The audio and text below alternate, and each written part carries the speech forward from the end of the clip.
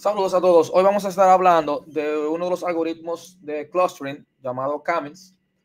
Eh, bueno, para empezar, le voy a recomendar a todos. Miren, esta página es excelente. Se llama Analytics eh, Betcha. Básicamente de un hindú, según veo el nombre. Eh, la idea, ustedes dan la vuelta por acá, porque de verdad le explica muy bien la parte teórica de lo que es un clustering y no solamente de eso, sino todos los, todo lo que tenga que ver con ciencia de datos, ustedes vienen acá y como la parte teórica para usted entender cómo funciona, que eso, eso es importantísimo, señores. Eh, saber la parte teórica, entender cómo funciona cada uno de ellos para luego usted poder reutilizarlo. Que yo muchas veces le he comentado que la ciencia de datos muchas veces se trata de eso, de reutilizar algunos algoritmos que ya están hechos por saber implementarlo de la manera correcta, dependiendo del proyecto que usted vaya a utilizar. Entonces, hoy vamos a hablar justamente de uno de ellos, eh, que viene siendo Comments. De, de, este que vamos a estar hablando, del agrupamiento. Fíjense que para usted seleccionarlo, como todo algoritmo de agrupamiento que, o de clustering, más bien, aquí fíjense que yo tengo diferentes puntos. Estos puntos, usted lo tiene que imaginarse lo que son características de un dataset. Cuando hablo de dataset puede ser, bueno, datos cargados ya en, vamos a ponérselo más fácil. Si yo voy a una tabla, yo voy a tener características de personas, por decirte algo. Y yo quiero saber las personas que tienen características comunes o que tienen gustos comunes. Entonces lo que va a medir la distancia, que es lo mayormente que hacen los algoritmos de clustering, para saber o comenzar a agruparme las personas que tienen características eh, como más conocidas. Pero fíjense que al principio él no sabe cuántos grupos hay. Y una de las características de este algoritmo de cambio es que usted tiene que decirle eh, cuántos grupos tú necesitas que él te extraiga de esa data. Bueno, que muchas veces uno tiene que tratar de utilizar algunos métodos para seleccionar el mejor valor de acá, porque usted tiene que indicarle a cuántos grupos tú, quieres que él te forme. Entonces, es decir, aquí, fíjense que el primero, tú le pasas el valor de acá, como dice ahí, tú, tú seleccionas un número de acá, y luego él comienza a seleccionar ciertos cat points, lo que se llama centroides. Fíjense aquí, como son los centroides. Ah, mira, este va a ser mi centroide y este va a ser mi centroide. Entonces, a partir de estos dos, él comienza a hacer clasificaciones. Ah, como estos puntos están más cerca del C1, significa que son rojos. Como estos puntos están más cerca del C2, bueno, significa que son verdes.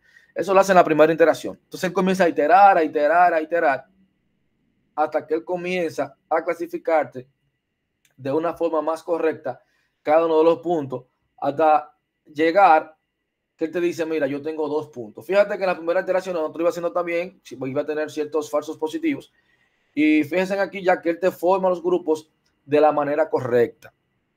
No siempre va a ser así, ¿verdad? Porque de eso se trata.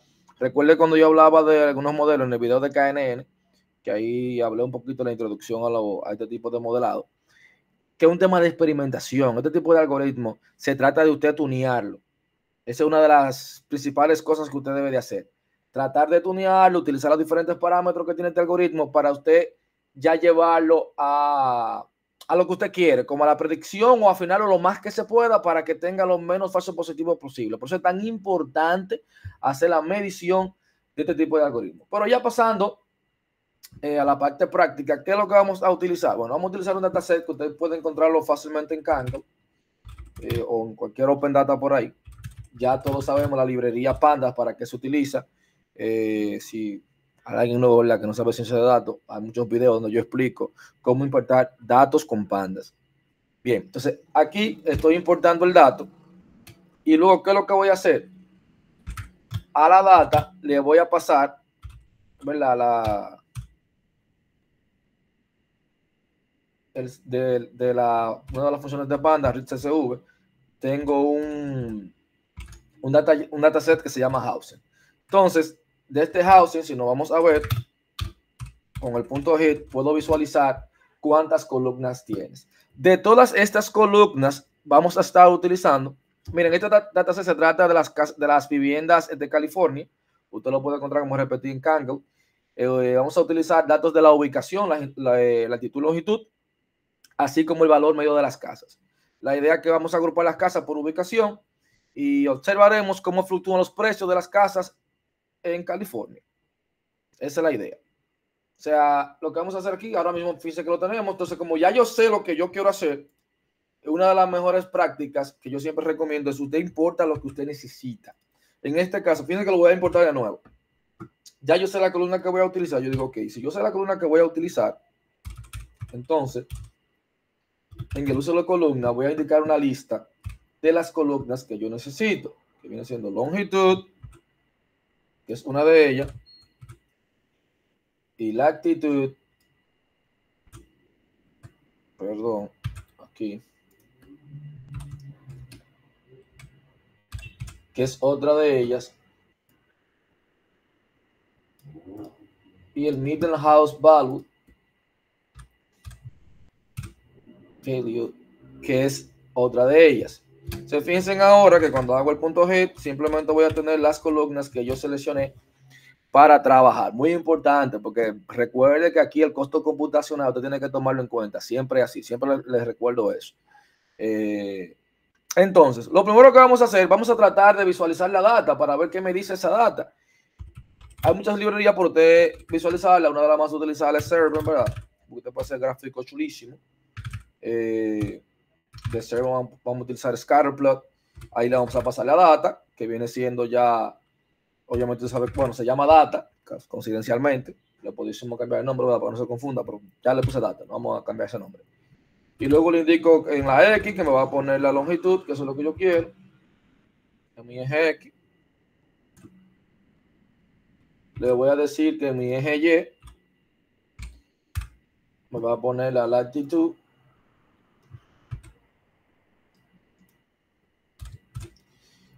y luego le voy a decir King Me que eso va a ser para cuando, yo digo eh, el tema de Hute, es para que lo que me va a tomar en cuenta, obviamente para hacer como la medida de cada valor, o sea, para colorear eh, cada punto. Si yo lo voy a decir, que va a ser esta de acá. Le va a tomar el median host o, o el valor de las casas, por medio de las casas, para hacerme la, el color que yo necesito de los valores. Cuando vengo aquí, vamos a ver. Si no explota, ¿verdad? Él me va a hacer un dibujito. Fíjense que aquí, me está diciendo por los diferentes rangos, los diferentes colores que va, que va teniendo. Fíjense bien. Entonces ahí usted puede observar que la mayoría de las casas caras están en la costa oeste de California. O sea, con diferentes áreas que tienen grupos de casas de precios moderados eh, entonces yo estoy viendo que la propiedad de frente al mar valen más que las casas que no están en la costa. Dicen que las casas que están más cerca de las costas tienen mayor precio. Fíjense en los colores, como va fluctuando. Ahí te va diciendo ya una noción de lo posible o, lo posible, vamos a decirlo así, planteamiento objetivo que usted puede hacer con este dataset. O qué usted puede tratar de analizar con este dataset. Fíjense que con una simple imagen una simple imagen comenzó a decirte ya de qué trata. Entonces, algo que yo siempre recomiendo, sobre todo cuando usted está trabajando eh, con algoritmos eh, de aprendizaje no supervisado, sobre todo ahí, aunque siempre lo recomiendo, pero sobre todo en este tipo de algoritmos hay que hacerlo. Eh, cuando usted trabaja con algoritmos basados en distancia, usted debe normalizar los datos.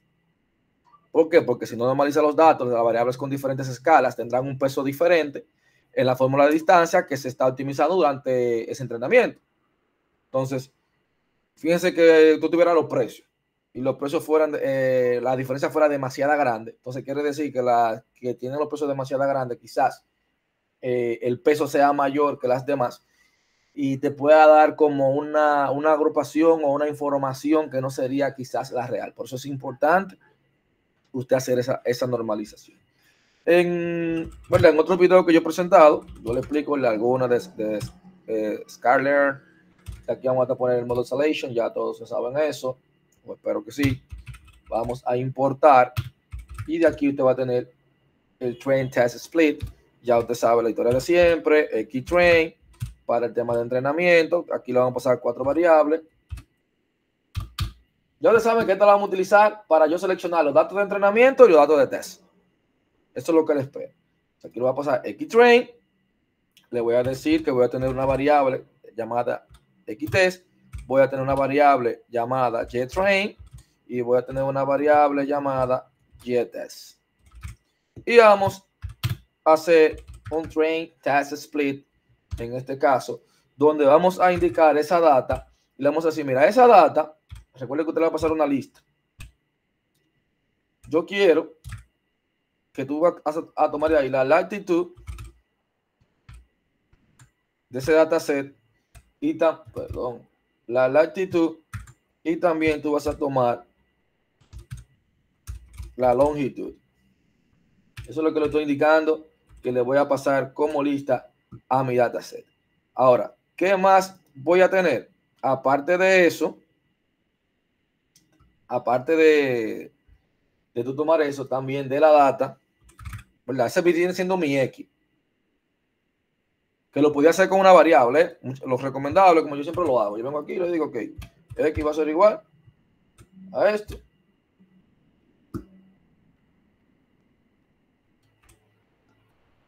Pasa que me gusta a veces ponerlo de manera diferente porque usted ve un ejemplo por ahí, después no esté confundido. Y Y va a ser igual. Es lo mismo. Yo le digo que, mire, yo tengo a X aquí y tengo a Y que le voy a pasar este valor. También como una lista. Recuerde que yo le pongo, cuando yo le pongo los dos corchetes, prácticamente lo está pasando como un data frame. Entonces aquí, en vez de yo poner las listas para que se vea más lindo el código, le digo, mira, este va a ser mi variable X, este va a ser mi variable Y, y le indico, mira, mi test size, es una variable de train test split, va a ser igual al 0.30%. Es decir, que voy a entrenar con el 0.30% de los datos. El otro 70%, eh, ya usted sabe que va a ser prácticamente para, eh, para entrenamiento. Ya tenemos run state, en otro video también he explicado lo que era run state. Eh, entonces ahora vamos a correr. Vamos a poner en cero mientras tanto el, tema de run state. Déjame ver qué me faltó. Me dice lactitude puse. Ahí, exactamente. Ahí está mal escrito. Lactitude, longitud. Que fue lo que escribí mal. Lactitude not en index. Vamos a verificar qué fue lo que puse mal. Aquí también ahí aprendemos, ¿verdad? Doble shitting. Vamos a ver. Latitud y longitud. Vamos a ver. Tengo el valor de X con el mayúscula igual a data. Le estoy diciendo que le voy a pasar latitude. ¿Qué, qué señor? ¿Qué latitude? Ya todos sabemos ahí la error que cometí. Porque puse latitude. Latitud. Latitud, longitud. Ahora sí. Fíjense que ahora sí ya lo entrenamos. Luego, ¿qué sigue? Vamos a importar el módulo de preprocesamiento de la biblioteca Skylearn, que se va a utilizar para el preprocesamiento de datos del aprendizaje automático. ¿Qué es lo que vamos a hacer? Vamos a aplicar la función de normalización, de normalize, del módulo de preprocesamiento al conjunto de los datos de Xtrain y Xtest. Entonces, eso es lo que vamos a hacer por el momento. Esa función lo que va a escalar los datos de entrada para que cada muestra tenga una norma unitaria, lo que significa que la suma de los cuadrados de los valores de cada fila es igual a 1. Eso es lo que voy a hacer con ese normalize. ¿Qué es lo primero que yo dije que vamos a hacer? Skyler, ¿verdad? Vamos a importar lo que se llama preprocesamiento.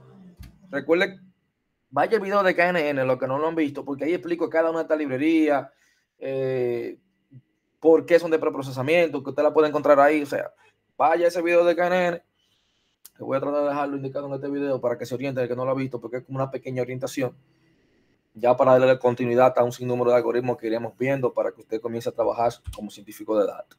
Entonces, lo primero que yo voy a decirle, mira, yo tengo mi X-Train normalizado, lo cual voy a utilizar de preprocesamiento, normalize, y se lo voy a pasar a X-Train. Recuerde que lo que estoy haciendo acá. Piense qué es lo que estoy haciendo en esa, que lo dije antes, antes de. Vaya pensando a lo que escribo el otro, que va a ser igual al preprocesamiento normalize XTS. Fíjense bien. Estoy normalizando los datos. Recuerde, Voy a escalar los datos para que cada muestra tenga una norma unitaria. Sea que la suma de los cuadrados de los valores en cada fila es igual a 1.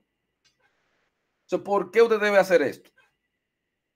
El proceso de normalización puede ser, es, o no que puede ser, es útil para mejorar el rendimiento de ciertos algoritmos de aprendizaje automático, especialmente aquellos que son sensibles a las escalas de la característica de entrada, como son estos, como le dije, los de distancia, sobre todo tienden a tener ese problemita de que cuando yo tengo rango de valores, o muchas veces le llaman outliers, muy, muy fuera de lo normal, se complican con el tema del entrenamiento. Porque recuerden que cálculo de distancia.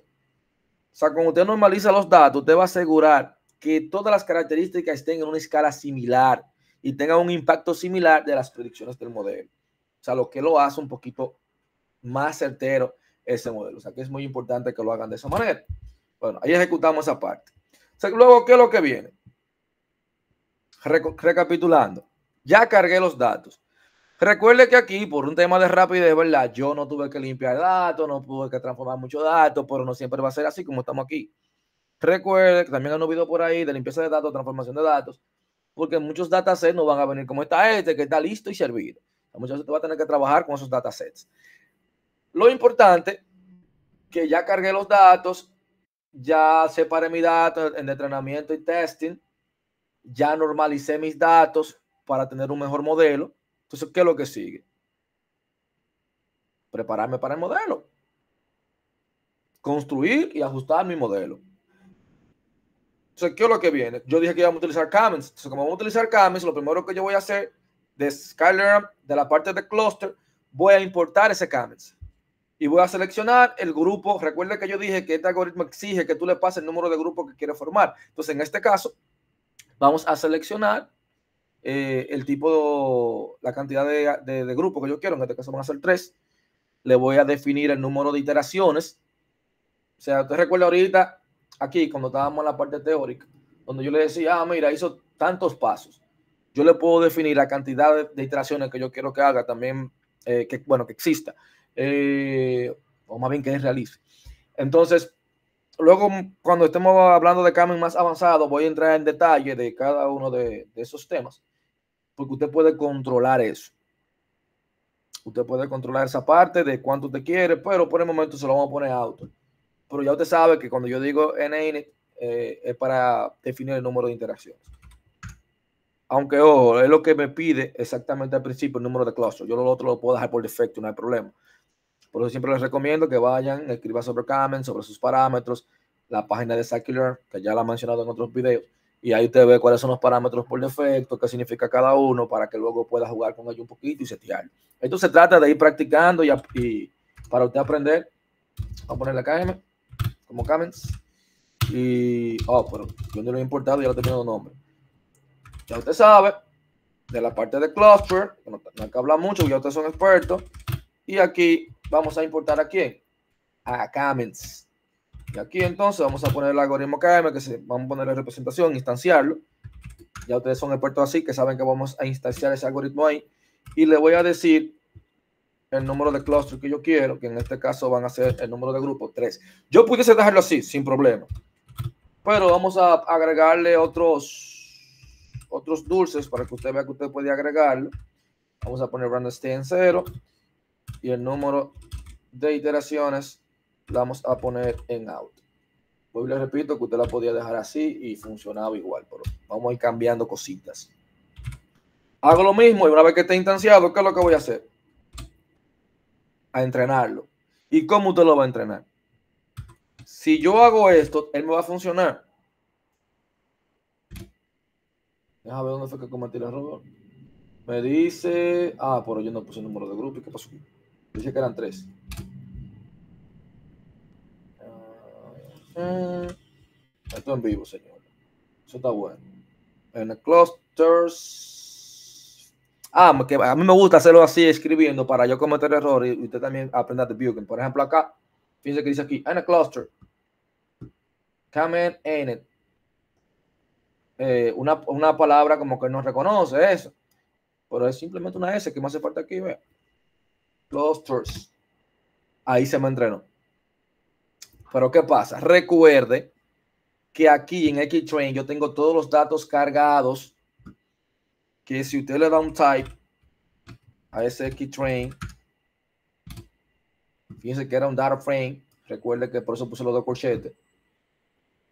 Entonces, pero aquí recuerde que ese mismo keytrain ya yo le hice un preprocesamiento para mejorar el entrenamiento de algoritmo. No se confunda con eso. Es decir, que yo debo de utilizar esta variable de acá. Miren ahí, esa es la que yo debo de pasarle para mi entrenamiento para obtener el mejor resultado. Ahora sí, ahí se entrenó ya, ya le di enter, ahí se entrenó. Entonces, una vez que yo entreno ese modelo, eh, ya están ajustados, ahora usted puede acceder a las etiquetas desde los atributos. Por ejemplo, ya con, con comments aquí, fíjense en todo lo que usted puede tener. Más entrenamiento, el valor de la inercia, por eso le digo, tienen que venir aquí. Tienen que venir aquí, sí o sí. Fíjense que aquí te va a explicar lo que es la inercia dentro del mundo de clustering, que es la que tan distante están cada uno de esos puntos de los centroides. Fíjense ahí.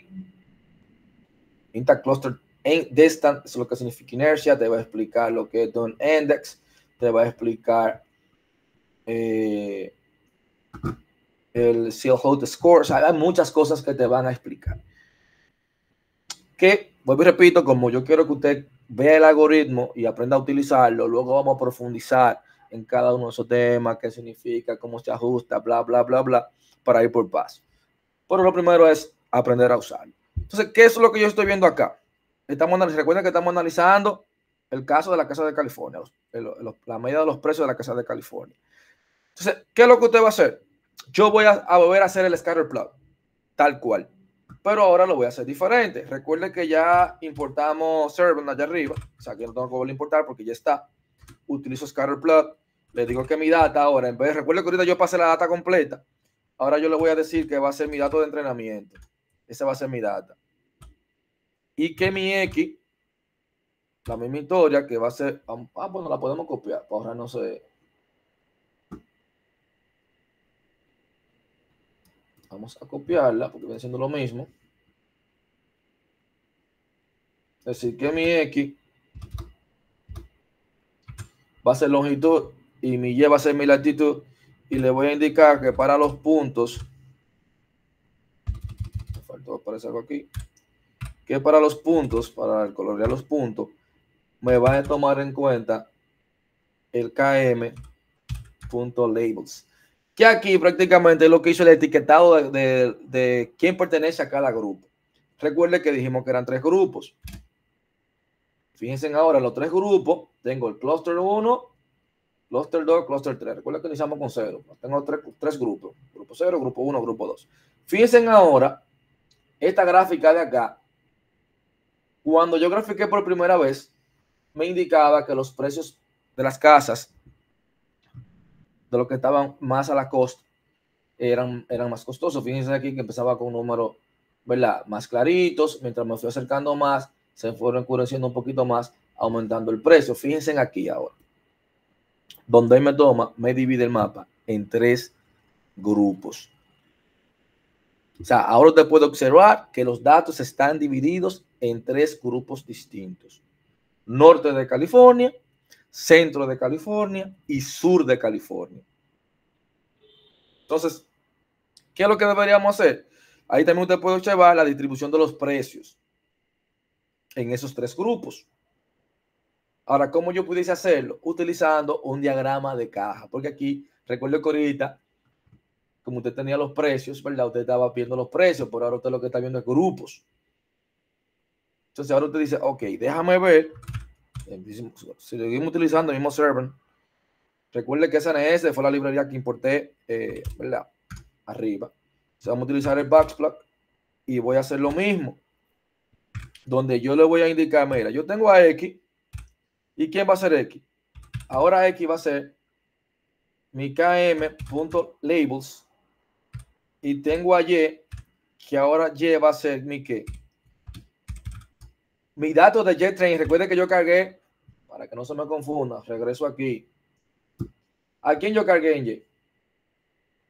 Cargué toda esta data por completo. Esa columna completa. Luego, recuerde, fíjense que ahí no estoy normalizando a nadie. Y luego aquí, donde dice JetTrain, hay un 80% de los datos que es para entrenamiento, un 70%, perdón, y un 30% para testing. Entonces voy a utilizar es este JetTrain de acá que estoy utilizando, el 70% de datos de entrenamiento. Y le voy a decir ahora que de ahí me va a pasar esa columna para ver cómo me hace ese pequeño gráfico. Fíjense ahora. Los tres grupos, recuerden que tengo tres grupos, grupo 0, grupo 1, grupo 2. Entonces, claramente eh, podemos ver que los clústeres del norte y sur tienen distribuciones similares de los valores medianos de las casas. O sea, el clúster 0 y el clúster 2, que son, eh, bueno, en este caso no, el clúster 0 y el clúster 1, perdón, son los que tienen más, que tienen los precios más parecidos. Fíjense ahí que el clúster 2 eh, se queda un poquito más regado, que viene siendo este de acá. Míralo de aquí. Bueno, el clúster 2 que está aquí, luego tengo el clúster 1 y luego tengo el clúster 2. Que se cumple, que ahorita decíamos que mientras más yo me acercaba a la costa, eh, más altos eran los precios. Entonces, fíjense acá que ya me está diciendo, ok, el clúster 0 y el clúster 1 son los que tienen eh, valores eh, similares. Ahora, usted debe seguir profundizando, seguir tuneando, a ver qué pasa realmente con este algoritmo. Ahora usted puede evaluar el rendimiento del algoritmo de agrupamiento utilizando qué? Un puntuaje de silueta, que por eso le dije, es importante venir aquí. Fíjense como él te dice, para evaluar la calidad del clustering se utiliza esta medida. Entonces, vamos a ver. Recuerden que nosotros utilizábamos la palabra score. Y aquí entonces ahora, recuerden que siempre de Scalar, de la parte de las métricas, vamos a importar lo que se llama, ¿verdad? Es el hot score o la silueta. Entonces acá ya sabemos utilizarla, ¿verdad? Porque ya yo sé importarla. ¿Y a quién se lo voy a pasar? Recuerde a mi dato de train, pero train qué? En este caso X train en minúsculo. X train normalizado, porque recuerde que con esa fue que yo hice el entrenamiento. Y el mismo comments de los labels. Y aquí le voy a indicar que vamos a utilizar una métrica euclidiana para hacer. Entonces, ¿qué es lo que yo voy a hacer? Como dije, importar, obviamente, la función de, de del módulo de, de metrics de Skylearn prácticamente lo que vamos a hacer es utilizarla para evaluar la calidad del agrupamiento mediante el cálculo del coeficiente de la silueta promedio de todas las muestras. Eso es lo que eso va a hacer. Entonces, luego, ¿qué es lo que yo voy a pasarle? Esta función va a tomar tres parámetros. Obviamente, fíjense este de acá, que van a ser los datos de entrenamiento normalizados utilizados por el, agrupamiento. Recuerde que, que eso ya lo he aplicado. El Common Labels, labels, que ya usted sabe para qué, las etiquetas asignadas a cada uno de los datos, o sea, a qué grupo tú perteneces. Eso es lo que vamos a utilizar. Y obviamente vamos a poner una métrica de distancia utilizada para calcular el puntaje de la silueta. O diciendo, mira, el puntaje de la silueta tú me lo vas a calcular, que puede ser otra, ¿verdad? Vía esta medida de distancia. O sea, esa función va a devolver el coeficiente de silueta promedio de todas las muestras que es una medida de que también se ajusta cada punto de datos a su clúster asignado. O sea, un puntaje de silueta más alto indica un mejor agrupamiento. Es decir, los que están en el grupo 0, que también se ajustaron a ese grupo 0. Los que están en el grupo 1, los que están en el grupo 2. Y así sucesivamente. Entonces, cuando yo te lo ejecuta, él te va a decir, ahí fíjense, dice que es un 0.74%. No es que esté pésimo, ¿verdad? Pero todos sabemos que debería de mejorar. Ahora, recuerde que este modelo yo tengo que evaluar diferentes métodos. Hasta el momento, yo lo que estoy evaluando es la eficiencia de los diferentes números de clúster, de tres. O sea, yo debería evaluar diferentes números de clúster. Yo simplemente he evaluado eh, un modelo que yo puse que cae igual a tres lo ideal es que usted explore diferentes valores de K. Eso sería lo ideal. O sea, que una de las debilidades que tiene este algoritmo es que usted no sabe cuántos clústeres usted necesita eh, para el modelo. O sea, usted necesita entonces comenzar a probar rango de valores y tomar una decisión sobre el valor de casa. Yo debería comenzar, ah, mira, con 5, con 7, con 10, ¿cómo lo haría? Y luego yo tomaría una decisión. Obviamente, existe ya eh, diferentes métodos que te ayudan a tomar el mejor valor de K. O sea, eso ya hay varios métodos que te van a ayudar con esa parte de yo saber, ok, ¿cuál sería mi mejor valor de K. Que pudiésemos comenzar a verlo, porque no es tampoco la, la, gran cosa. Eh, creo que sí, que nos da el tiempo para no hacer video tan largo. Pero sí, podemos ver aquí, déjame copiar una función, a ver si consigo una función. Eh, para hacer, para que usted vea esa función. Por aquí, vean una aquí. Voy a crear un bucle, le voy a decir que voy a evaluarle 2 a 4, me va a ir entrenando en esta, me va a ir poniendo los scores en esta, para luego él decirme con qué me combina más. Déjame ver.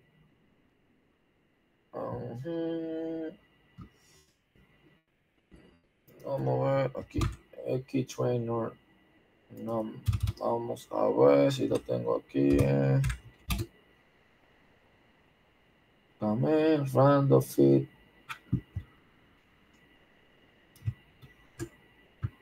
Vamos a ver.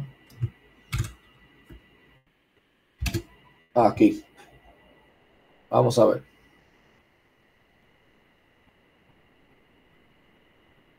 Ahí me está haciendo la evaluación. Una de dos, me va a dar un resultado, va a explotar. Para luego entonces con ese rango que usted hizo aquí, con este entrenamiento que usted hace, usted va a realizar lo mismo. Mira, este mismo gráfico de acá, usted puede copiar esto mismo que está acá. Míralo ahí. Y usted dice, ok, vamos a analizar esto.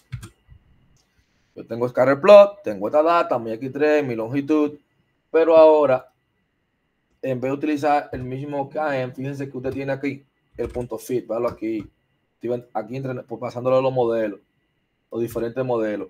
Así que mira, vamos a tomar el modelo que tenía lo etiquetado en la posición 0.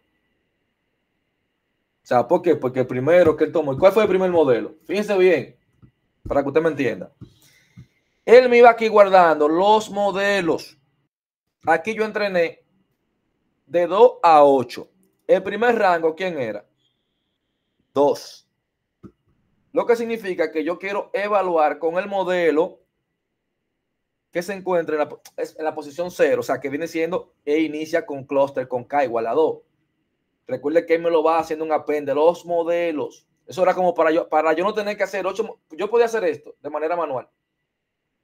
Venía aquí, copiar este código. Ahora le voy a poner modelo 1, por ejemplo, para que usted entienda qué fue lo que hizo ese bucle ahí. Yo vengo aquí, copio este modelo de acá, Ahora le voy a decir, en este caso, ¿verdad? Que iniciamos con dos. Y es lo mismo.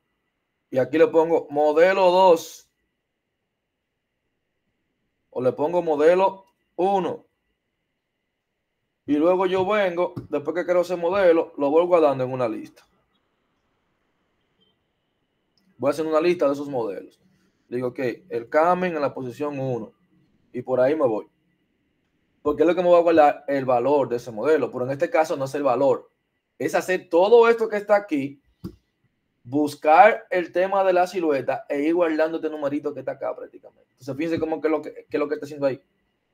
Hice todo directo, en una sola línea. Hice el entrenamiento con el valor de K, que en este caso inicia con 2, igual que auto, hago el entrenamiento y una vez que hago el entrenamiento, guardo el modelo. Y fíjense otra vez que vengo aquí en el score. La misma historia, pero para cada modelo lo va a hacer ocho veces. Aquí ya yo puedo ver también en dos grupos cómo se comporta. Vamos a copiar esto de aquí. En dos grupos, cómo se comporta. Miren ahí. Que también, si ustedes se fijan, no te lo divide mal. O sea, hace un trabajo aceptable dividiendo el Estado en dos mitades. Ahora, ¿qué pasa? Si usted se pone a pensar, fácilmente no captura suficientes matices en el mercado de viviendas de California, porque me lo está dividiendo en dos grupos. Usted puede decir ahí norte y sur. Se nos pasó la, la parte central.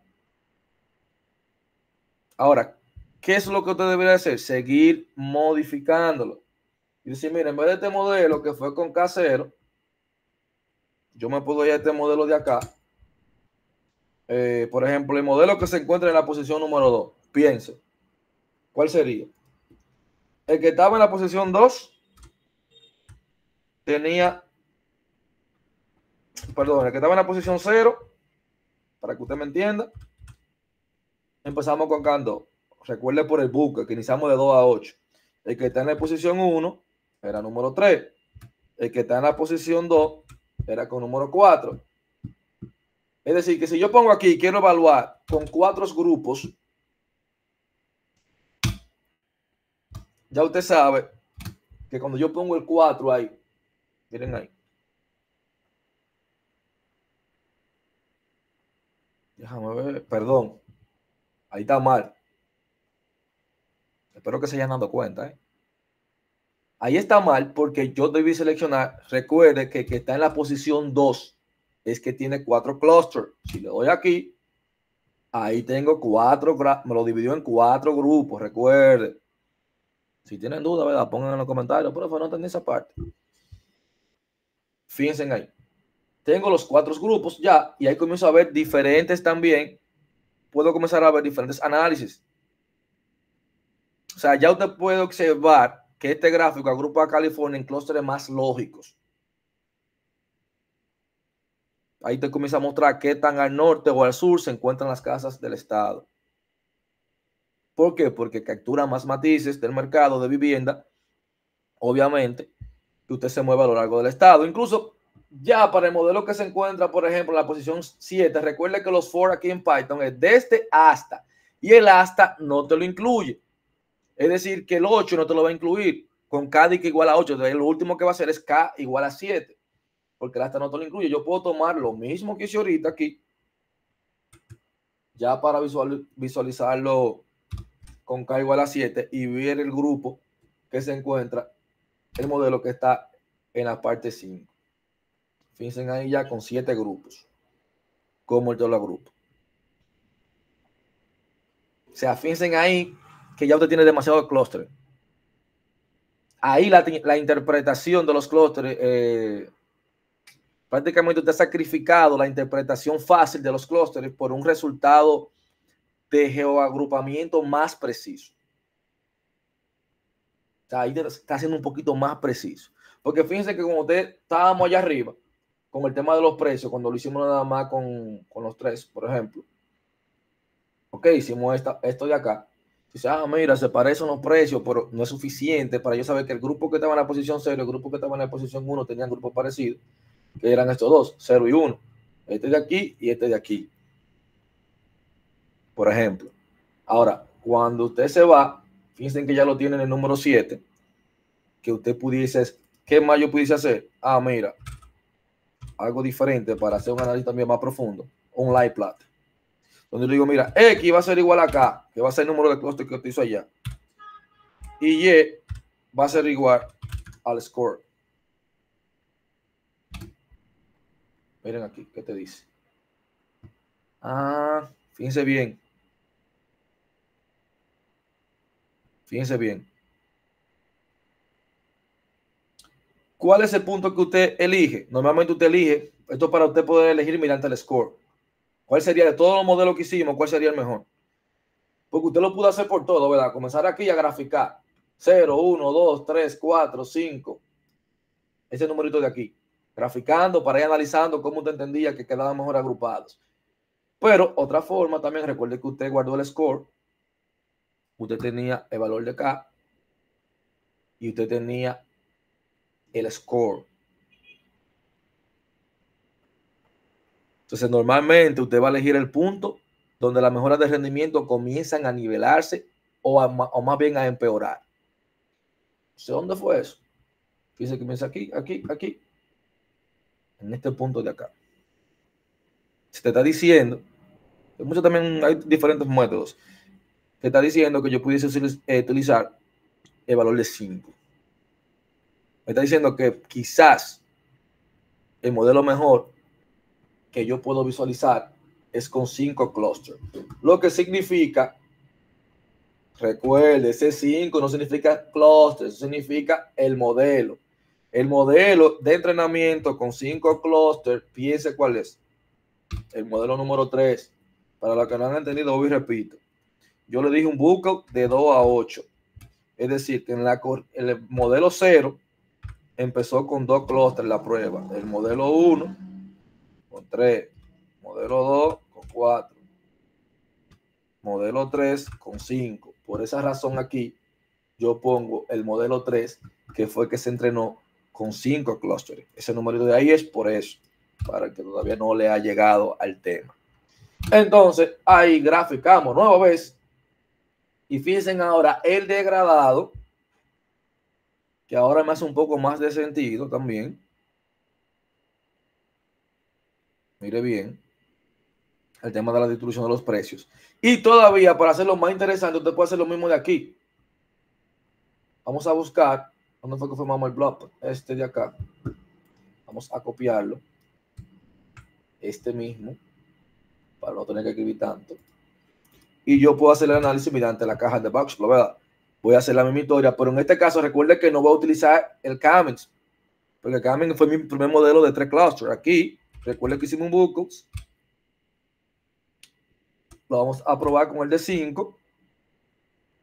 La misma historia lleva a ser igual a JetTrain con los precios medios de las casas. Y voilà. Miren ahí. Ya ahí me está diciendo más o menos cuáles son los grupos más, más costosos. En este caso, fíjense en que yo tengo precios parecidos ya con el grupo 0, el grupo 1. Ya el grupo 2 y el grupo 3 se parecen más en los precios. Entonces, cuando yo vengo aquí al grupo 0 y al grupo 1, grupo 0 grupo 1. Y me está diciendo, si usted se fija, el grupo 4 que se encuentra aquí, o vamos a buscar el precio, el ejemplo del grupo 3, que es uno de los que lo tiene más bajito, a ver si fue el grupo 3. No, el grupo 2 es uno de los que tiene más bajito, sería 0, 1 y 2. Este colorcito de acá, miren, que es el que está más alejado de la costa. Cuando usted busca el grupo, por ejemplo, 0, fíjense que este que está aquí, y el grupo 1, que viene siendo este de acá. Velo ahí. Grupo 0, grupo 1. Ah, mira, esos son los que tienen los promedios es más costosos. es interesante todo lo que usted puede hacer con esto de comments. Continuaremos profundizando, ya haciendo más análisis más avanzado, más pausado. Ahora, haga esta práctica, analice cada cosa de comments, le hace un poquito sobre comments que de verdad es un algoritmo que le puede servir de mucho. Así que nos vemos en otra entrega. Sigan apoyando ¿verdad? el canal, suscríbanse al canal para, ¿verdad? Yo seguir motivándome a hacer este tipo de contenido para que se conviertan en científicos de datos y venimos con algo también de eh, inteligencia artificial y a generativa. Pero por el momento quiero que aprendan un poquito de clustering que de verdad lo van a servir, le va a servir de mucho. Así que nos vemos en otra entrega.